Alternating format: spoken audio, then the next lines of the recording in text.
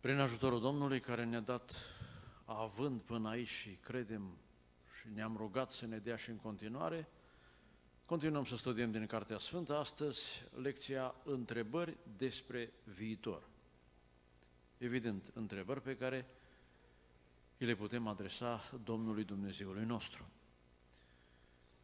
Întotdeauna viitorul a fost o necunoscută pentru oameni, dar în același timp o dorință de a ști măcar ceva, măcar în parte. Spunea Solomon ca unul care a cercetat lucrurile în cursul succesiunii evenimentelor, potrivit legii cauzei și efectului, în cartea Eclesiastul, capitolul 9, versetul 1, într-o observație categorică, oamenii nu știu nimic mai dinainte. Totul este înaintea lor în viitor, adică într-o zonă necunoscută, ce ar dori să fie explorată, dar omul nu are capacitatea aceasta să pătrundă fenomenele în evoluția, în cursul lor. În schimb, Dumnezeu este unul care știe totul dinainte. Spune Scriptura că lui sunt cunoscute toate din veșnicie. Iată cum a rostit el prin profetul Isaia, capitolul 44, versetul 7, cuvinte referitoare la stăpânirea sa asupra viitorului.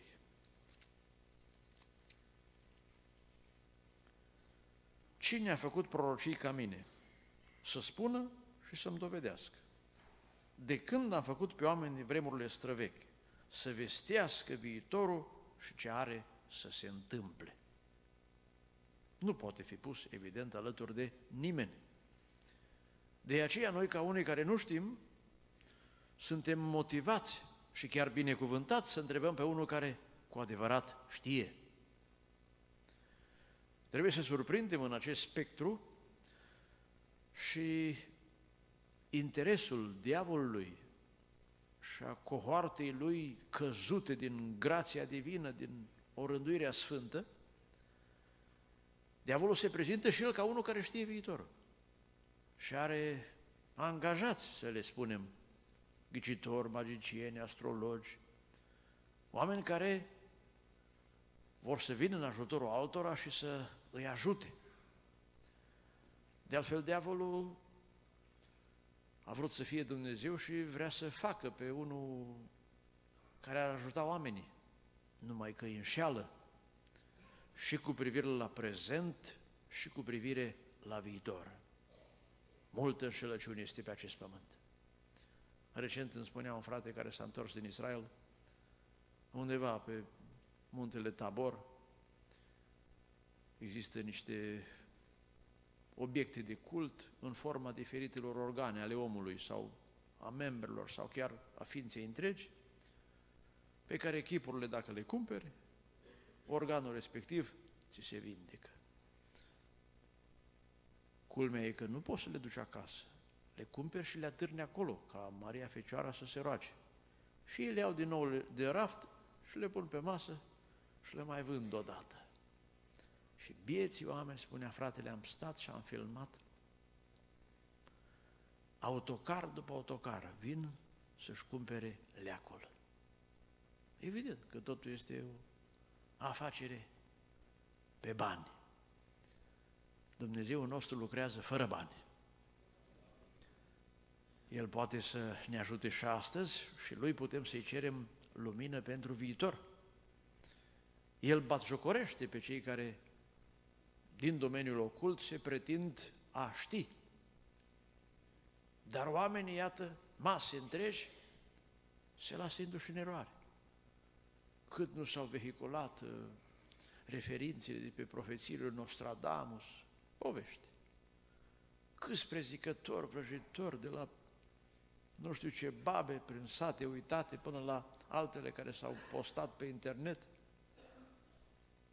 Toți și toate aceste angajate ale diavolului vin să ofere omului sugestii și informații referitor la viitor. E drept că diavolul știe câte ceva, e mai deștept ca noi oameni, e bătrân, e șarpele cel vechi. Are și capacitatea să intuiască, ghijitori. Dar nu este stăpân peste viitor. Iată ce a zis Dumnezeu despre toți aceștia în Isaia, capitolul 41, citim de la versetul 21. Apărați-vă pricina, zice Domnul, arătați-vă dovezile cele mai tare, zice împăratul lui Iacov, să le arate și să ne spună ce are să se întâmple.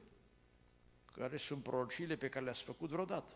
Spuneți ca să luăm seama la ele și să le vedem împlinirea sau vestiți-ne viitorul. Spuneți-ne ce se va întâmpla mai târziu, ca să știm că sunteți Dumnezei. Faceți măcar ceva bun sau rău, ca să vedem și să privim cu toți. Iată că nu sunteți nimic și lucrarea voastră este nimic. O scârbă este cine va alege pe voi. I-a bat jocorii Dumnezeu în mod categoric, pentru că înșeală diavolul și toți aliații săi întreaga lume. Domnul să ne păzească. Vreau să observăm acum câteva întrebări pe care le putem adresa Domnului. Eu le-am numit întrebări de jos. Noi de aici nu știm ce urmează. De sus, de la Dumnezeu, se vede, se știe. Și omul are dorința să cunoască viitorul, cred eu, încă din Genesa 3 cu 15, când Dumnezeu a făcut o primă profeție în auzul celor doi și le-a zis, vrăjmășie voi pune între tine și femeie între sămânța ta și sămânța ei, asta deci privea generațiile viitoare, aceasta îți va zdrobi capul și tu îi vei zdrobi călcâiul. Și probabil că Adam și Eva ajuns în condițiile grele din afara grădinii Edenului, cu suferință, cu trudă, s-au așteptat. Amintiți-vă că tata lui Noe zicea, copilul acesta ne va mângâia de truda noastră. Și tot așteptau, preveau spre viitor. În primul rând, cred că sunt uh, datori și întemeiați în întrebările lor conducătorii unui popor, a unei țări, a unei comunități locale, să întrebe cu referire la lucrarea care este pentru o vreme în controlul și execuția lor. Pentru ca să știe ce directive să dea, ce proiecte, ce planuri să lanseze. Să ne amintim de Moise citind în cartea Exod la capitolul 3, care atunci când a fost chemat de Dumnezeu și se vedea în față un viitor, dar un viitor necunoscut, a întrebat, citim de la versetul 11, Cine sunt eu ca să mă duc la faraon să scot din Egipt pe copiii lui Israel? Dumnezeu a zis, eu voi fi negreșit cu tine și iată care va fi pentru tine semnul că eu te-am trimis.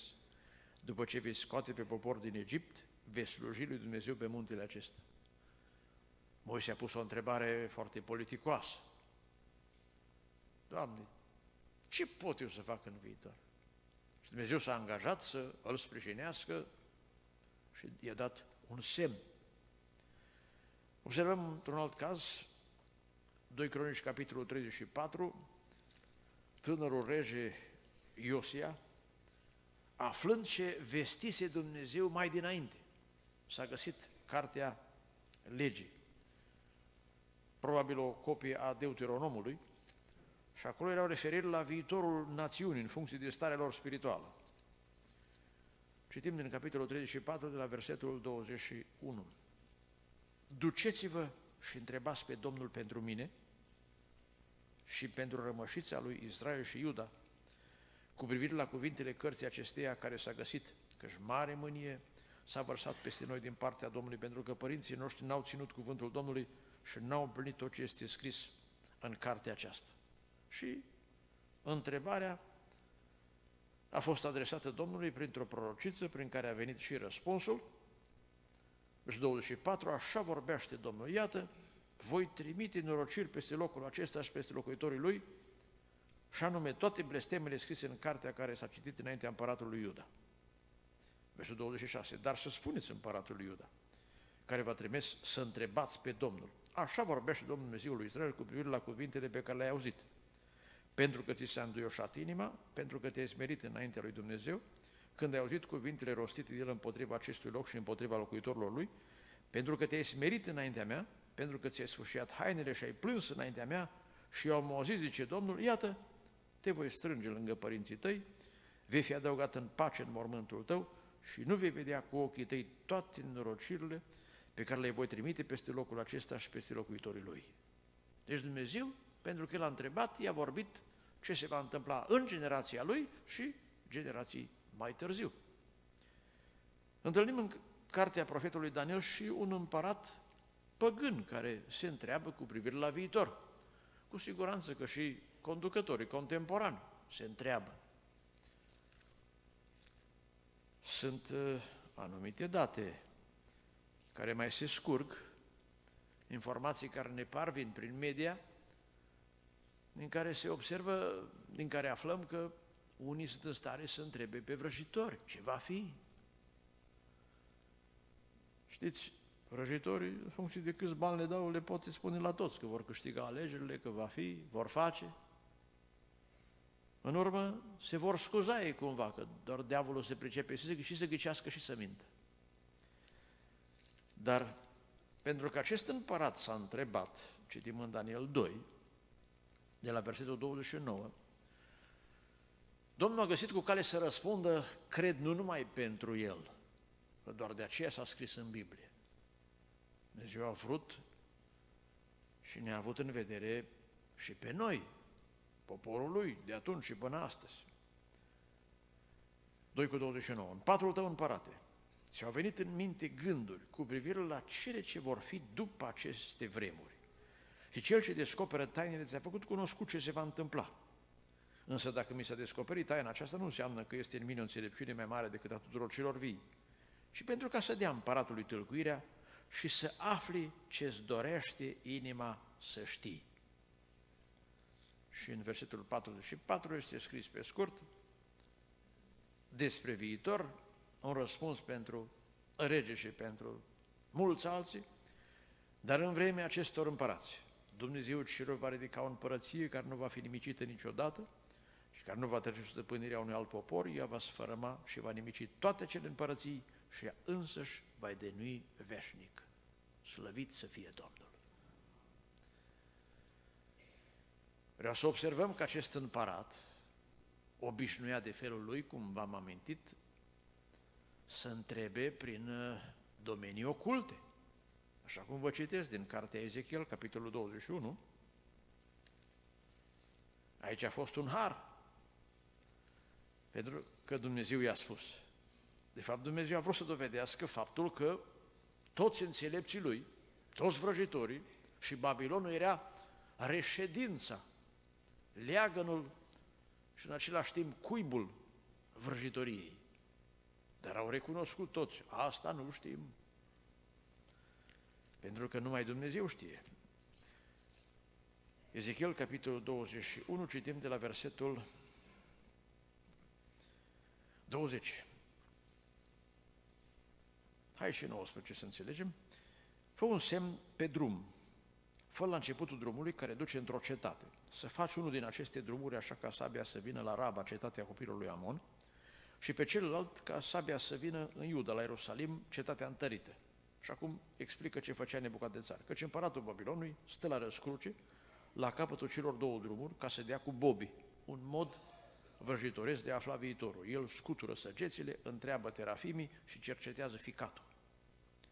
Sorțul care este în dreapta lui înseamnă Ierusalimul, unde vor trebui să ridice berbe, să dea poruncă pentru măcel și să scoată strigăte de război, vor ridica berbeci împotriva porților, vor ridica întărituri și vor face șanțuri de apărare.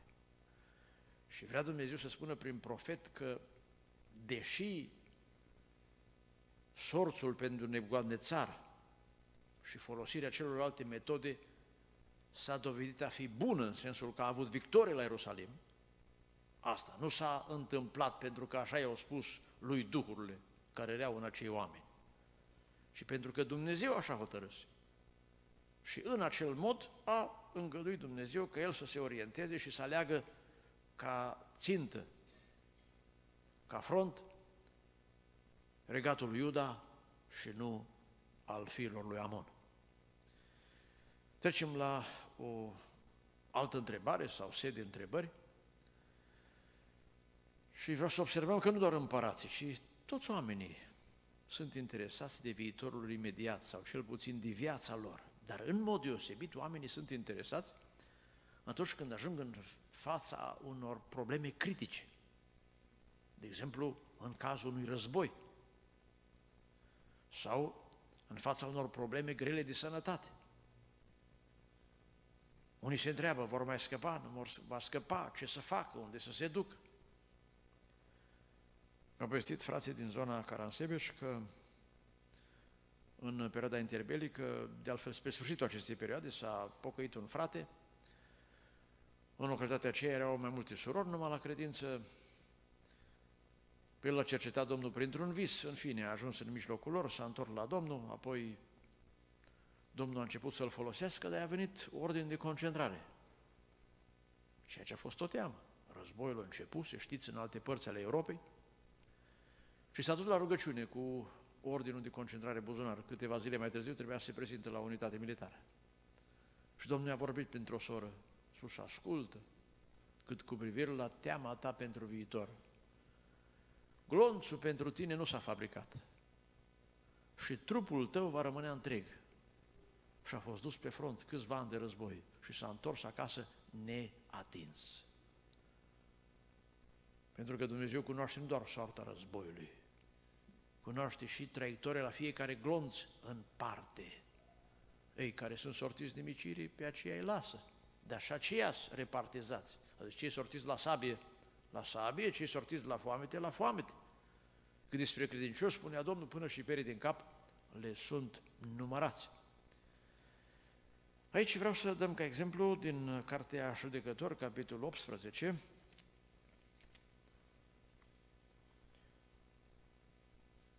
pe niște iscoade din uh, tribul lui Dan, care căutau să-și extindă teritoriul unde să se așeze. Și au întâlnit un om care credeau ei că e un om al lui Dumnezeu. Nu era așa, dar de aici vreau să scot în evidență doar faptul că oamenii sunt interesați să întrebe. 18 cu 5.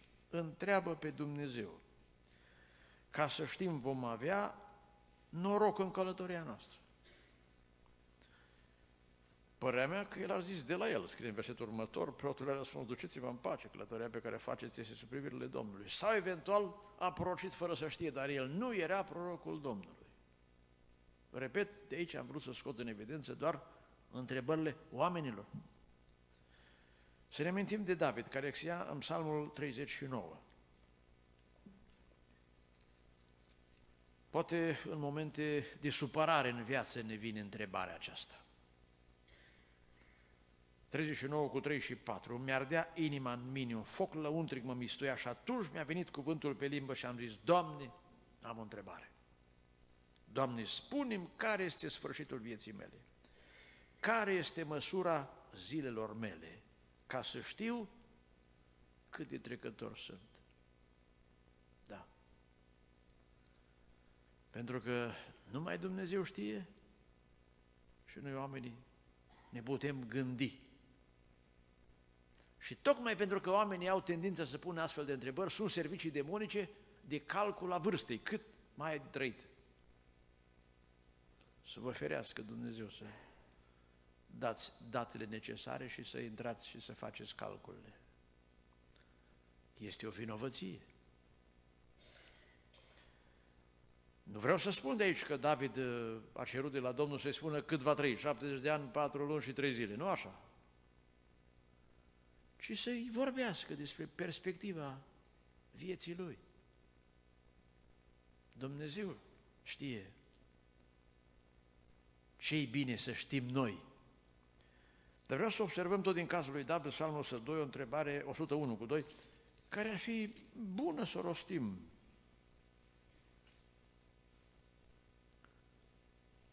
Nu să ne gândim numai când murim, la 70 de ani sau la 80, să ne gândim, Doamne, pentru mâine, pentru poi mâine, știți? Spune Scriptura, ajung zile necazul ei.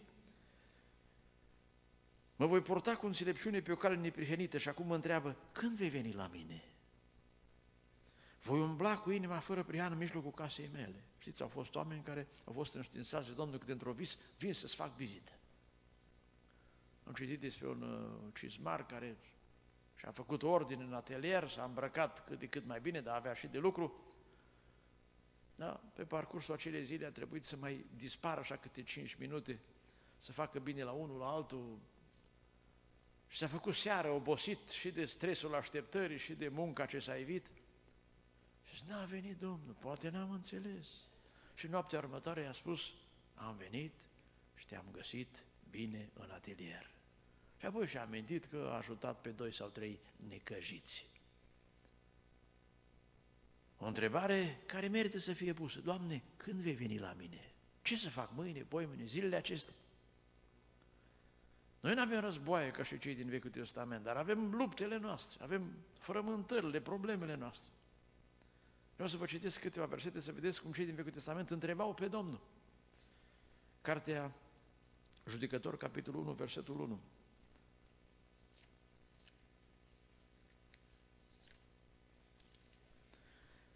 După moartea lui Iosua, copilul Israel au întrebat pe Domnul. Vedeți, în mod special când se schimbă ceva, în momente în care viitorul este incert, în care nu știm ce să facem, nu întrebăm pe Domnul doar să-L ispitim. Cine dintre noi se suie întâi împotriva carneților să pornească lupta cu ei? Domnul a răspuns. Eu cred că Domnul răspunde numai la întrebări potrivite. Și a spus și au de făcut. Apare tot în Cartea Judecători, în capitolul 20, cu ocazia nelejuirii oamenilor din Ghibea și a adunării care a avut loc, a celorlalte seminții, o întrebare asemănătoare, 20 cu 18. Cine din noi se suie întâi și se lupte împotriva fiilor lui Beniamin? Domnul a răspuns, Iuda se suie întâi. N-a avut însă victorie. Au fost două zile de înfrângere. Și în versetul 23 apare din nou o întrebare, asta este după prima înfrângere, să mă mai sui la luptă împotriva fratelui meu Beniamin. Și Domnul a răspuns, suiți-vă împotriva lui. Și a fost tot înfrângere ziua aceea. Au postit, iar s-au rugat și apoi Dumnezeu le-a spus și în final au avut biruință. Câteva evenimente din uh, viața lui David, 1 Samuel 23, el este în evidență ca omul care întreabă foarte des pe Domnul, Doamne, ce să fac? Ce urmează? Ce strategie să aplic? După ce făcuse bine unei localități, izbăvind-o de filisteni, scrie de la versetul 3, dar oamenii lui David au zis, iată că noi ne temem chiar aici în Iuda și ce va fi când vom merge la Cheila împotriva oștirii filistenilor. Domnul David a întrebat iarăși pe Domnul și Domnul răspuns, scoală-te și pogoară-te la Cheila că își dau pe filisteni în mâinile tale. Asta a fost în prima fază. Dar apoi întreabă, de la versetul 10, uh, Doamne, robul tău a aflat că Saul vrea să vină să ia cetatea și să nimicească din pricina mea. Mă vor da locuitorii lui în mâinile lui Saul, locuitorii acelei cetăți. Se va pogorâ Saul aici. Domnul a răspuns, se va pogorâ. Doamne, mă vor da? Te vor da. Și atunci a știut ce are de făcut.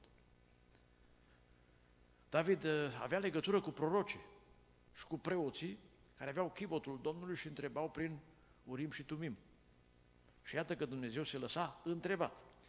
Un alt moment critic este în capitolul 30, știți, după ce el a plecat la luptă cu Achish pe front împotriva evreilor, au năvălit amaleciții și au ars localitatea unde el și partizanii săi își așezaseră reședința pentru o vreme. Când au fost trimiși înapoi, au văzut că totul fusese distrus. Și ceilalți bărbați au vrut să-l omoare, au plâns. Dar el a știut ce trebuie să facă, versetul 8. David a întrebat pe Domnul să urmărești ceta, oastea aceasta. O voi ajunge? Domnul a răspuns, urmărește-o, căci o voi, vei ajunge și vei izbăvi totul. Iată ce important este cu privire la viitor să întrebi în astfel de momente critice. Și încă un uh, gen de întrebări pentru viitor, întrebări despre sfârșitul lumii și eternitate. În mod deosebit, în uh, jurul anului 1000, anului 2000, aceste întrebări au ieșit la suprafață. Se termină lumea, ce va fi? Și noi, credincioși, ne întrebăm cu privire la veșnicie. Se întreba David, Psalmul 15, cu 1, Doamne, cine va locui în cortul Tău? Astea sunt întrebări frumoase, nu doar, Doamne, când va fi, ci, Doamne, cum să mă port? Cine va ajunge acolo? Dar poate cea mai completă întrebare în privința aceasta e cea a ucenicilor adresată Domnului Matei 24. Știți, aveau și ei planurile lor. Scrie aici de la versetul 3, el, adică Domnul, a șezut jos pe muntele măslinilor și ucenicii lui au venit la el la o parte și i-au zis, spune-ne, când se vor întâmpla aceste lucruri și care va fi semnul venirii tale și a sfârșitului viacului acestuia? Și Domnul le-a răspuns, aici până la versetul 14, drept dovadă că este normal să întrebăm, dar să fim atenți cum răspunde Domnul la întrebări referitoare la sfârșit. Și cred că aici cei mai evidenți în întrebări sunt profeții cu spiritul lor vizionar. Ei au chemarea asta să se întrebe cu privire la viitor. Să ne amintim de nefericitul Balam, cartea numer, capitolul 24. despre care este scris, citesc de la versetul 15, că era omul care avea ochii deschiși, care auzea cuvintele lui Dumnezeu, care cunoștea planurile celui prea înalt, care vedea vedenia acelea tot puternic, care cădea cu fața la pământ și a cărui ochi erau deschiși și rostește pentru viitor. Îl văd, dar nu de acum, îl privesc, dar nu de aproape. O steară sare din Iacov, un toiac de cârmuire se ridică din Israel, profeția despre Domnul. Și lansează el o întrebare, aici versetul 23. Balam a rostit următoarea prorocie, vai, cine va mai putea trăi când va face Dumnezeu acest lucru? Profundă întrebare. O întrebare de profet. Dar pentru el a rămas vaiul. N-a fost demn să vadă minunile viitorului. Trec în cartea profetului Daniel, un profet demn. Cartea sa este o apocalipsă a Vechiului Testament. Ioan, în descoperirea sa, de fapt, extinde, dezvăluie mai pe larg, potrivit cu descoperirea care a fost dată, ceea ce întâi s-a dat lui Daniel. Am putea spune că și cartea Apocalipsa se naște în cartea Daniel. Din cele 404 versete ale Apocalipsei,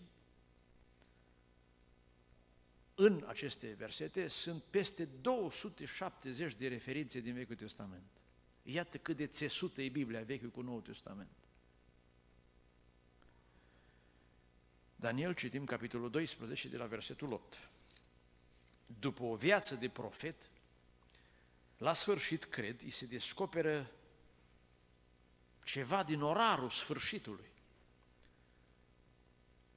Eu am auzit, dar n-am înțeles și am zis, Domnul meu, iată întrebarea, care va fi sfârșitul acestor lucruri? El a răspuns, du-te, Daniele, căci cuvintele acestea vor fi ascunse și pecetluite până la vremea sfârșitului, dar ele erau scrise deja atunci. Mulți vor fi curățiți, albiți și lămuriți, cerei vor face rău și niciunul din cere nu va înțelege, dar cei pricepuți vor înțelege. Ascultați, un orar escatologic foarte amănunțit, de la vremea când va înceta jertfa necormată și de când se va așeza urăciunea postitorului, vor mai fi 1290 de zile. Ferice de cine va aștepta și va ajunge până la 1335 de zile. Iar tu, vrea să-i spună pentru tine să încheie descoperirea, tu te, până va veni sfârșitul, tu te vei odihni și te vei scula iarăși odată în partea ta de moștenire la sfârșitul zilelor. Dumnezeu când a vorbit despre sfârșitul zilelor, le avea notate în calendar. Cum avem noi aici? În birou, pe calendarul de pe perete, notăm nunțile, nu cumva să scăpăm și să suprapună și să încurcăm oamenii, așa, la vedere. Îmi imaginez la Dumnezeu un calendar pe zile pentru atunci, toate sunt în evidența lui slăvit să fie Domnul. Și o altă dovadă, 1 Petru capitolul 1, referitoare la pasiunea pentru viitor a prorocilor, citim de la versetul 10, prorocii care au prorocit despre harul care vă era păstrat vouă, au făcut din mântuirea aceasta ținta cercetării și căutărilor stăruitoare. Deci prorocii sunt oameni interesați de viitor. Ei cercetau să vadă ce vreme și ce împrejurări avea în vedere Duhul lui Hristos care era în ei când vestea mai dinainte patimile lui Hristos și slava de care aveau să fie urmate. Lor le-a fost descoperit că nu pentru ei înșiși, ci pentru voi spuneau ei aceste lucruri pe care le-au vestit acum cei ce v-au propovăduit Evanghelia prin Duhul Sfânt trimis din cer și în care chiar îngerii doresc să privească, pentru că și pentru îngeri viitorul este o taină. Tainele sunt cunoscute numai de Dumnezeu. Îngerii știu mai mult ca noi, dar nici ei nu știu totul. Vreau să observăm acum cum Dumnezeu răspunde acestor întrebări ale celor ce conduc, a oamenilor în general și în special cu referire la sfârșit. În primul rând, vreau să observăm că Scriptura ne prezintă angajamentul lui Dumnezeu referitor la controlul său asupra trecutului, prezentului și viitorului. Dumnezeu s-a angajat ferm că toate le va avea sub control. Că El decide într totul ce se va întâmpla, când și unde. Apocalipsa, capitolul 10. Citim de la versetul 5. Și sub acest aspect nu trebuie să ne temem de nimic, pentru că totul este în mâna lui Dumnezeu. 10 cu 5. Și îngerul pe care le văzuse stând în picioare pe mare și pe pământ, și-a ridicat mâna dreaptă spre cer și a jurat pe Cel ce este viu în vecii vecilor, care a făcut cerul și lucrurile din el, pământul și lucrurile de pe el, marea și lucrurile din ea, că nu va mai fi nicio zăbavă.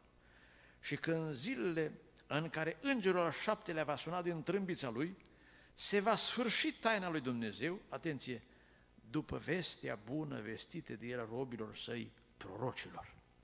Adică așa cum a spus Dumnezeu cu zile, așa se va întâmpla, Dumnezeu s-a angajat cu jurământ. La Dumnezeu nu e un proiect de principiu. Nu-i un proiect care trebuie amendat. Nu. La zi se va împlini totul. Iată ce vă citești din cartea lui Habacuc, un alt profet. El a trăit în perioada distrugerii Ierusalimului, a templului, ceea ce a fost pentru evrei un eveniment de necrezut. Știți că ei se lăudau în vremea aceea, templul Domnului, templul Domnului, nu are cum să fie demontat, e numele Domnului, e prezența Lui. Habacuc, capitolul 1, versetul 2,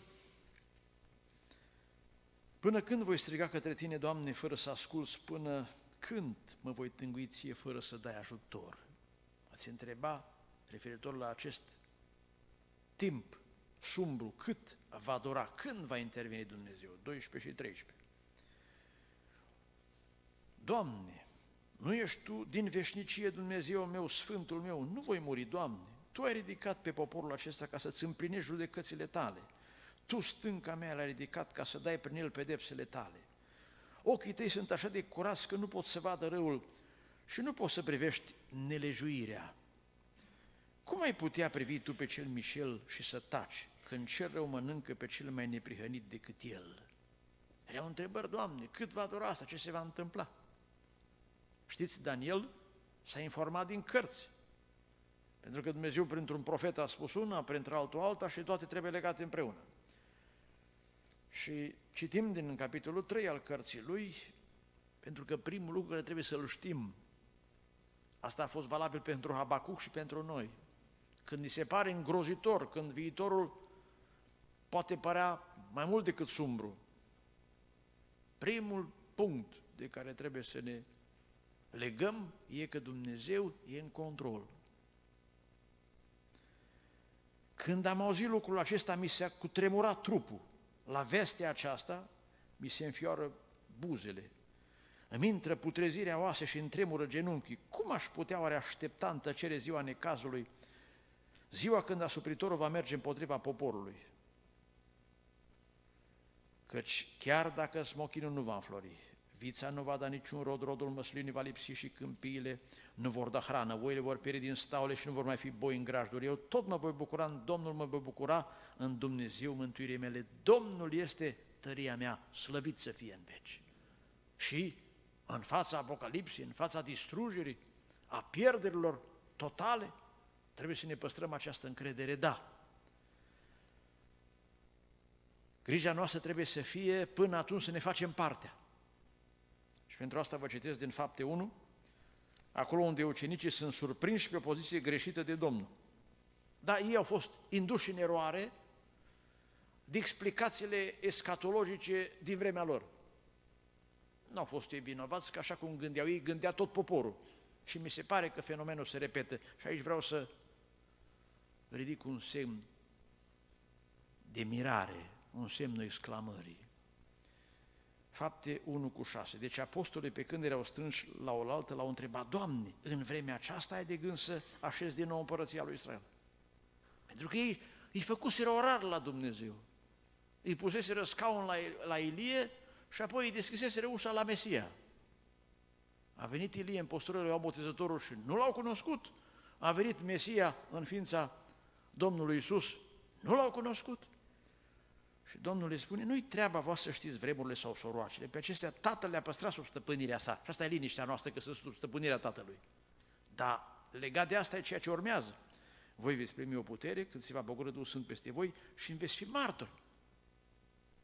Dumnezeu și le face toate la vreme, după orarul Lui, dar El ne-a făcut orar și nouă. Am uh, survolat puțin zilele astea o scriere referitoare la sfârșit întâmplător, nu m-am apucat să o cercetez,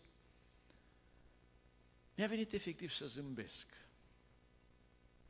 Cum se stabilea, se va întâmpla asta cu neamurile, cu evrei, pe atunci e răpirea, orar pentru anticrist, pentru chinezi, pentru americani, pentru ruși. Deci vine să zici că Domnul Hristos când se întoarce, trebuie să fie foarte atent, că i-am făcut un orar amănunțit și la Dumnezeu și la satana, ce au de făcut fiecare, totul e scris în cărțile noastre de teologie. Și eu vă întreb, când a venit Domnul Hristos prima dată, au rămas în picioare cărțile lor cu explicațiile, au rămas? Toate au fost bune de la coș, ca vrăjitorilor din Efes. Și credeți că acum vom putea noi să dăm date așa de exacte? Eu nu cred. Ba culmea este că datele se contrazic între ele. Știți, sunt mai multe teorii scatologi, va fi așa, va fi așa, nu e așa, că e așa. Și care mai, de care e mai tare pe poziție, fiecare își parcă își ridică mai sus orarul lui, Doamne, îl vezi? Așa trebuie să faci. Când vii a doua oră, uite, orarul. Să ne păzească Dumnezeu de asta. Dumnezeu ne-a dat doar niște semne orientative. E copilărește, ca să nu spun nebunește, să-i facem noi un orar cu lux de amănunte la Dumnezeu. S-a dovedit greșit un asemenea orar, repet, la prima venire și la fel de greșit va fi la a doua venire. Sunt orare care se contrazic între ele ca horoscoapele diferitelor popoare. De aceea, treaba noastră, în primul rând, e să știm că Domnul stăpân peste zile și că în zilele până El vine, noi avem treabă de făcut. Ziceți voi până la marginea pământului, că va adune apoi, așa zice Matei 24. Trimit îngerul. Iar fi vrut să stea acolo, să fie primii la îmbarcare. A spus nu, la treabă. Vă adun eu atunci când e vremea când v-ați îndeplinit misiunea. Vreau să observăm în al doilea rând că răspunsurile lui Dumnezeu referitoare la sfârșit îi vizează și pe cei ce batjocoresc. Și pentru asta citim în Ezechiel, capitolul 12, ca să vedeți că a fost un istoric și la asta. Dumnezeu a anunțat prin profes că Ierusalimul va fi distrus și Israelul va merge în robie. Ei nu credeau asta. Și spuneau, nu vezi că tot așa au zis și alții, pentru că au fost proroși care au vestit asta și au murit între timp. 12 de la versetul 21. Cuvântul Domnului mi-a vorbit astfel. Fiul omului, ce înseamnă acest cuvânt de bajocor pe care îl întrebuințați în țara lui Israel? Zilele se lungesc și toate vedenile rămân neîmplinite. Și, ca să nu mai citesc versetele ce urmează până la 28, explică Dumnezeu, veți vedea că asta e generația în care se împlinesc. Și nu se mai lungesc zilele. La fel, citim în 2 Petru capitolul 3. Și iată că după ce a trecut de anul 2000, oamenii apucă cu treabă, ba încă numărul bazocuritorilor se mărește și scrie aici de la versetul 4 că unii vor zice, unde-i făgăduința venirii lui?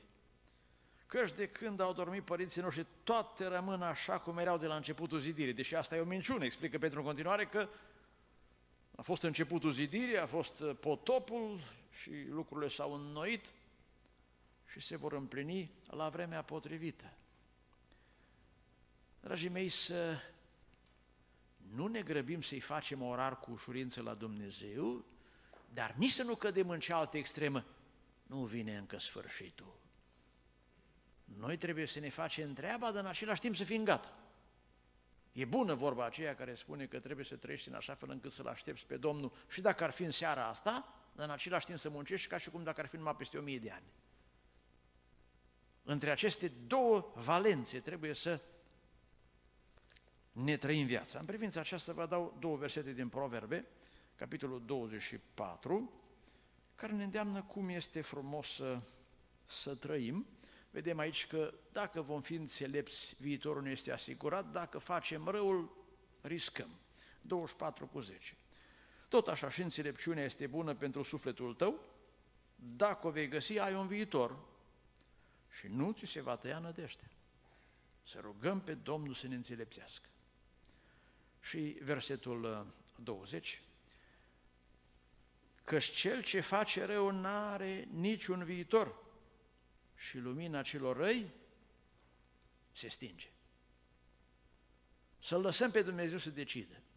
Spune că la trecerea dintr-un an în altul, un tânăr cu râvnă s-a angajat și are el de făcut proiecte pentru anul ce urma și perspective mai îndepărtate, s-a pus pe genunchi și voia oarecum Domnul să-i aprobe proiectul. Dar în Duhul lui, un tânăr sensibil, la vocea Domnului a simțit că Domnul nu semnează. Și a reluat proiectul, l-a amendat, l-a îmbunătățit, se pune iar pe genunchi, același refuz divin de a semna. Se spune că a intrat înaintea Domnului mai profund și a zis, Doamne, ce nu-i bun că nici nu vreau să mă angajez ce nu pot face, sau nu m am de trăit, să nu mai fac proiecte. Și Domnul i-a spus, auzi, dacă vrei să-ți asiguri viitorul, nu scrie tu și mă pui pe mine să semnez. Semnează tu și dăm foaia goală. Și mă lași să o scriu eu. Și tu o să le citești la momentul potrivit pe fiecare. Cam așa trebuie gândit viitorul, lăsat în mâna Domnului, iar noi făcându-ne parte. Amin? Și un ultim aspect aici, la răspunsurile de sus, interdicția categorică de a întreba prin mediumuri oculte și cunoașterea faptului că Duhul Sfânt se ocupă de descoperirea viitorului. El are mandatul acesta în biserică să se ocupe de viitor. De viitorul vieților noastre și de viitorul escatologic al lumii. Sunt cuvintele Domnului Hristos, Ioan capitolul 16, versetul 13, care a zis, când va veni mângâietorul Duhul adevărului, are să vă călăuzească în tot adevărul, căci El nu va vorbi de la El, ci va vorbi tot ce va fi auzit și vă va descoperi lucrurile viitoare. Eu nu mai citesc referințele din Vechiul Testament care interziceau total lui Israel să n-aibă de face cu vrăjitori. Cred că nu-i cazul. Numai să știți că oamenii care n-au niciun răspuns de la Domnul vor fi împinși să meargă la satana. Vă amintiți de Saul? Când nu i-a mai răspuns Domnul nici prin vise, nici prin proroci, nici prin preoți, s-a dus și a întrebat pe satana, ce va fi? Și acolo e un punct ciudat în felul în care au derulat lucrurile când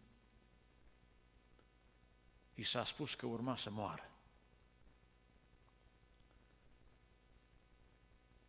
Vă citiți totuși un verset din Isaia, capitolul 8, în privința aceasta, care îmbină aceste două aspecte. Isaia 8, versetul 19. Dacă vi se va zice însă, întrebați pe cei ce cheamă morții și pe cei ce spun viitorul, care șoptește și bolborosesc, răspundeți, nu va întreba are un popor pe Dumnezeu său, va întreba el pe cei morți pentru cei vii, să ne păzească Domnul de așa ceva. Și mai adaug un aspect aici. Duhul Sfânt poate să ne înștiințeze și dacă n-am întrebat, dar cred că o dorință în noi, o năzuință, tot există. Aici să ne amintim de Iacov, Genesa 49, care a chemat băieții la patul lui, la bătrânețe. Veniți să vă vestesc ce va fi în vremurile ce vor veni.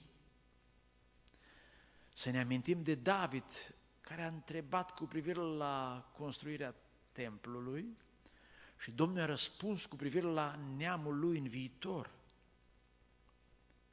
Să ne amintim de Petru, Ioan 21, care întreabă,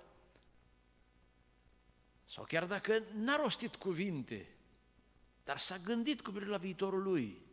Și Domnul îi spune ce fel de moarte avea rânduită pentru el. Sau să citim din fapte despre Pavel și vom vedea că Duhul Sfânt se ocupă să ne vestească viitorul. E misiunea lui, fapte 20, versetele 22 la 24. Și acum iată că împins de Duhul mă duc la Ierusalim fără să știu ce mi se va întâmpla acolo, că în fața noastră totul e viitor necunoscut.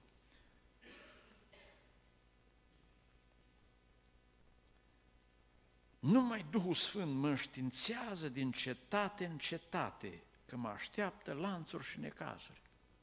Deci avea profeții frecvente. Dar eu nu țin numai decât la viața mea ca și cum mi-ar fi scumpă. Vedeți, un om care a înțeles ce a spus Domnul Hristos, nu-i treaba, în primul rând, să știi treaba, în primul rând, să-ți faci treaba.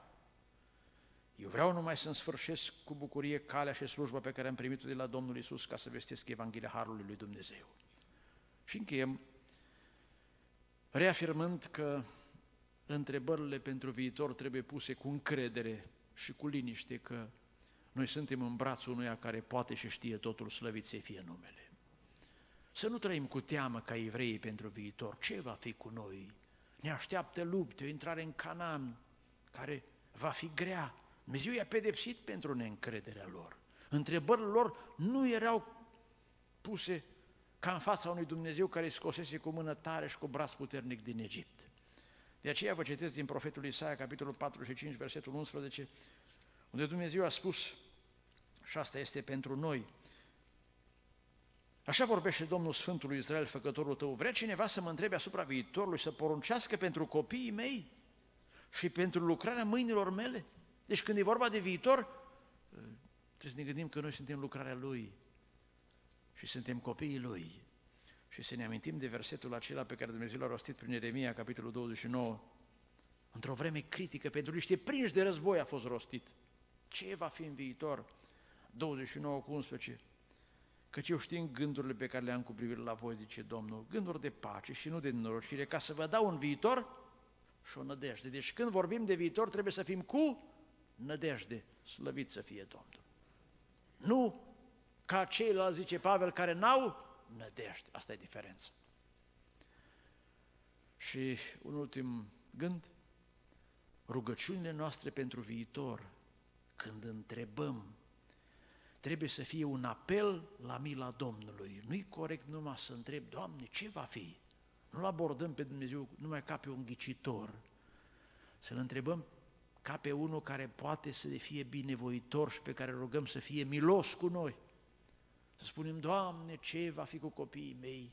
și să completăm rugăciunea, Doamne, îndură-te de ei pe viitor. Eu am făcut ce am putut pentru ei. Ia-i, Doamne, în grija Ta. Ce va fi, Doamne, cu adunarea noastră? Ce va fi cu mine? Cu sănătatea mea, Doamne? Cât voi trăi? Ce se va întâmpla? Doamne, fieți milă de mine. Și aici revin la un verset din cartea profetului Habacu, capitolul 2, care cuprinde din plin această idee. Vă amintiți ce v-am citit despre Habacuc? Teama pentru viitor, ce se va întâmpla, ce va fi. Habacuc 3 cu 2. Când am auzit, Doamne, ce ai vestit, m-am îngrozit. Însuflețește-ți lucrarea în cursul anilor, Doamne, adică știu că ce ți-ai propus vei face. Fă-te cunoscut în trecerea anilor, dar în mânia ta adu-ți aminte de îndurările tale. Doresc tuturor un viitor sub îndurarea Domnului.